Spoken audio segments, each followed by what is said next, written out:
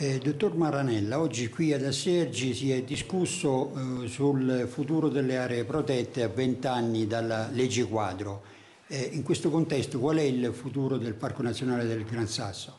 Ma credo proprio perché abbiamo invitato tutti i parchi, questa mattina tutti i colleghi, direttori presidenti e abbiamo avuto la fortuna della presenza del direttore generale del Ministero e che insieme vogliamo costruire un progetto innovativo ma anche eh, dare significato di quello che hanno rappresentato i parchi in questi vent'anni, quindi calcolarne il valore non solo simbolico e romantico ma anche economico.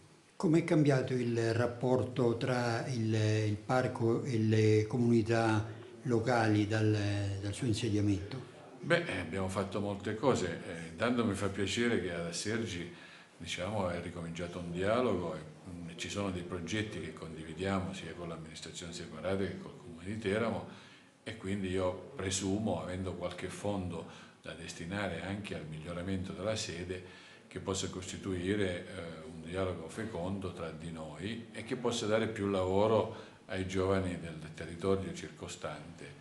Per, per quanto riguarda la conflittualità tutto dipende non tanto dalle risorse economiche che hanno una loro importanza, quanto da una concezione nuova e moderna del, del valore culturale dell'ambientalismo italiano. Grazie.